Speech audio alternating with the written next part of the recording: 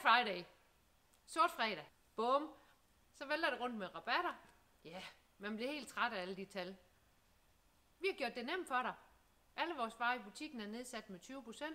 Bum. Man kan også sige, betal kun 80% af prisen. Det var sgu i orden.